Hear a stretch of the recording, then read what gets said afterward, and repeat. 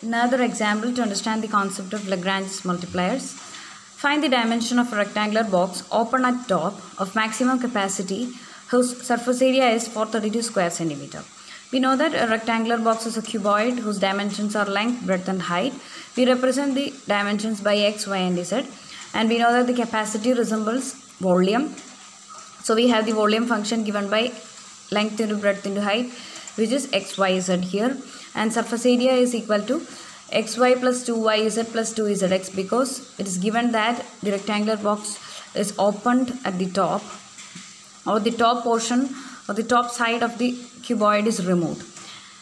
Now we have to find the maximum value possible for the capacity. That is we have to find the maximum value possible for the volume function f of xyz equal to xyz and the relation between xyz is also obtained from the surface area which is given in question so this will help us to find out the relation phi and volume function will be the function f of xyz is equal to xyz whose maximum we have to evaluate now we frame the Lagrange's function given by capital F is equal to small f plus lambda times phi.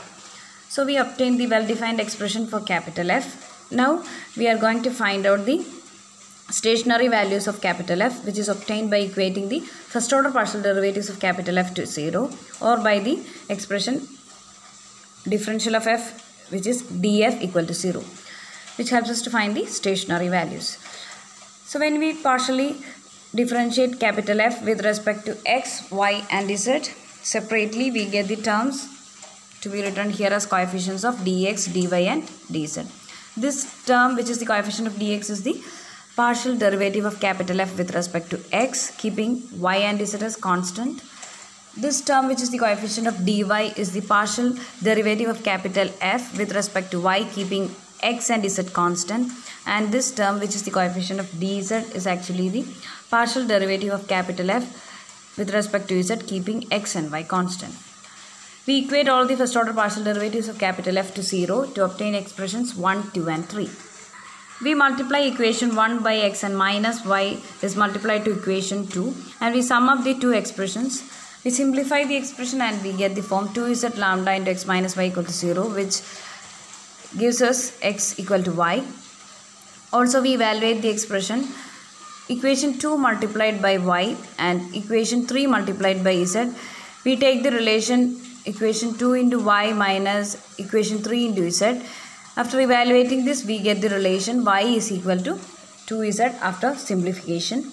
So looking at these two relations we have the conclusion x equal to y equal to 2 times z. From the expression of surface area